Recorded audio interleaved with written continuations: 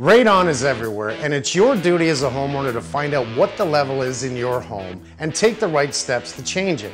My son Mike Jr. and I have been talking about the risks of high radon levels for many years. We've partnered with Radon Environmental Corporation because they have the same mission that we do. That mission is to spread the word about this radioactive cancer causing gas that could be in your home and give you the tools to reduce it. Any amount of radon in your lungs is a risk, but health organizations have guidelines for what's acceptable. Radioactive materials are measured in becquerels. Health Canada's guideline is 200 becquerels per cubic meter.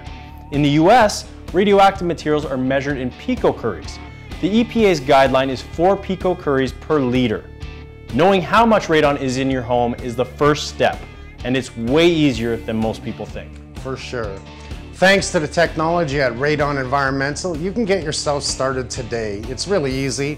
You can order the tester, set it up, and the lab emails you the results directly to you. Radon levels fluctuate over time, so long-term continuous testing is always going to give you the best result.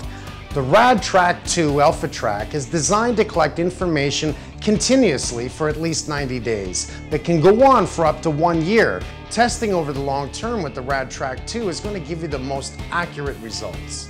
There are also products that will give you a reading in less time. The Rapidos provides an average in as little as 10 days. The measurement technology is the same as the RadTrack 2, but it holds twice the amount of air for a better short-term result.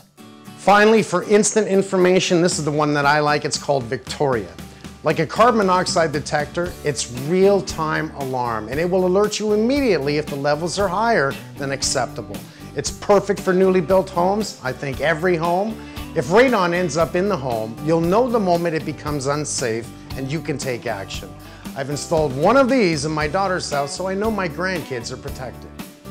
If your home has higher than acceptable levels of radon, there are steps you can take to reduce it and ensure the air quality in your home is the best it can be for you and your family. I like it.